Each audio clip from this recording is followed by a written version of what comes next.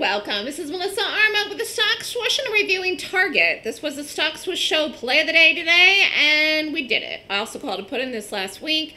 And actually, we've been doing this um, not as much as you would think, considering the sell off. Again, kind of came out of nowhere. It wasn't really based on anything like earnings, it was news, but came up on my radar, and I said, we need to watch this for the proper setup.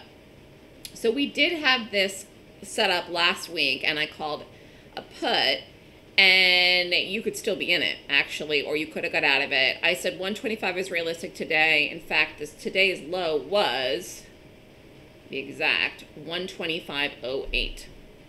Pretty good. Um, and we did a day trade in this today, so let's just go over it. So Target is weak. A lot of things are going to go with the market though this week from Wednesday on, but we shorted this, we got in and out.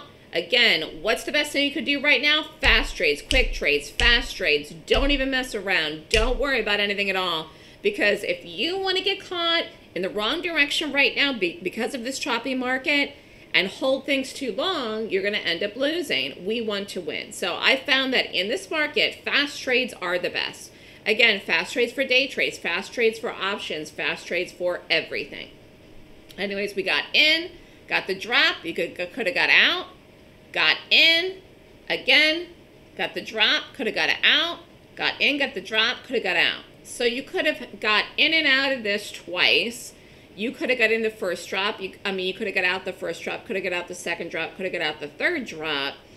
Uh, just taking a look at this here. I mean, this is still lower. Plenty of time left in the day, really not going anywhere up.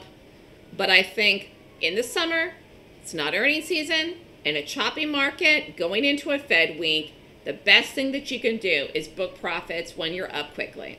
So again, for those of you that don't know what I do, my name is Melissa Armo and I like to short. I focus on shorting more than going long. While I sometimes go long, shorting is the focus for me.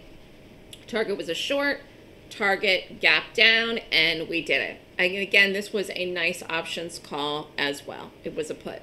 So if you have questions, if you'd like to learn my method on gaps, email me at melissa at thestockswoosh.com. Have a great day, everyone.